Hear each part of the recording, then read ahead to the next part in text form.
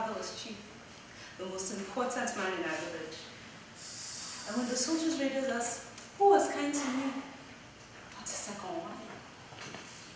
There! she is the chief's daughter. Or the cowards who pretended not to know me. Did any of them bring a blanket to cover me? Did any of them move their feet to come and help me? No. So you see.